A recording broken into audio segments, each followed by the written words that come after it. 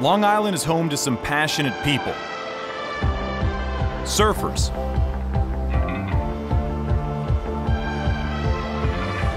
winemakers, and fishermen.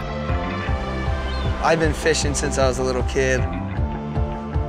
You leave in the morning, you don't know what's gonna happen. Something could break, you could load up on fish.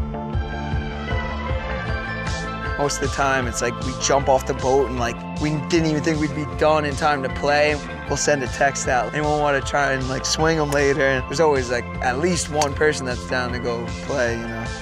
We'll zip out here and try and get even like six, seven holes in before it gets pitch black out.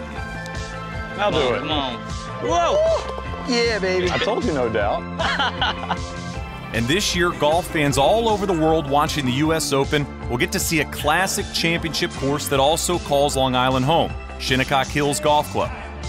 You stand on that clubhouse and you look out there, and the Open is coming, and everybody's talking about Shinnecock and our club. That's pretty exciting. You've got to really know what you're doing playing shots into the wind out here because you'll play some days that are just really difficult days to play golf. Yeah, that'll get there. That was there. There, there we go. I'll take that one. They're going to see wider fairways maybe than they're used to. You've got to get it on the right side of the fairway. You've got to read the wind before you hit your shot. You've got to be pretty golf smart to figure that out. I think it's going to be a great champion. I think it's going to be a player that will go down as one of the great players. I really believe that Shinnecock will bring that out. Shinnecock Hills is just one example of the incredible golf courses you'll find on Long Island. You can also find hidden gems like Laurel Links, which harnesses the natural sandy terrain to challenge your game.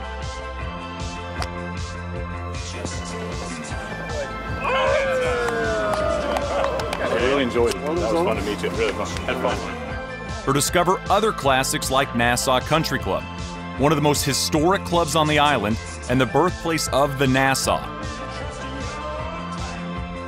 And there's Bethpage Black, a magnificent golf course that hosts major championships, but is also known as the People's Country Club. There's just something special about the fact that here it is in Long Island, $65 for a New Yorker.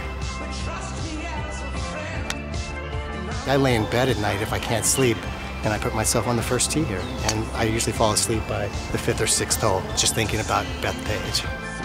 What makes Long Island golf special? Maybe it's the fact that there are so many remarkable places to play inside just 1,400 square miles. Or that there's such a wide variety of courses to choose from. Or that it's so close to the city that never sleeps, yet it still feels a world apart. But I think what mostly makes this place unique are the people, the Long Islanders.